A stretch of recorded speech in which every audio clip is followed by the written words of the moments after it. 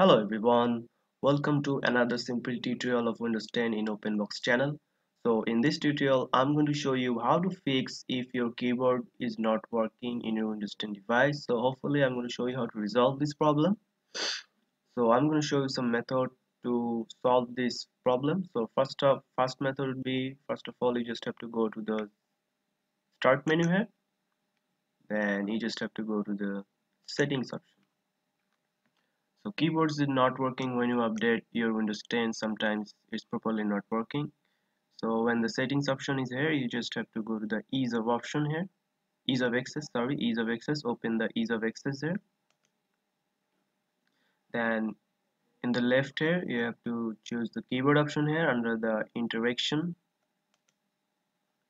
Now you have to turn on the that option called use filter keys so turn on the use filter keys and this will also turn on the show the filter keys icon on taskbar so you don't know, don't need beep when keys are pressed or accepted. So uncheck the option here. And now you can just close out of here. And now you just have to restart your computer. Hopefully that will resolve your problem. So if not I'm going to show you another method to fix this problem. So first you just have to go to the start menu and right click on it. And you have to go to the device manager. Open up the device manager.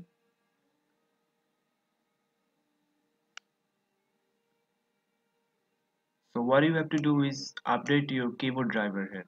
So if you can find the keyboards here you can just go to the file here. Sorry X view option here and show hidden devices so that way you can find your keyboard option here. So now you just have to expand the keyboard here.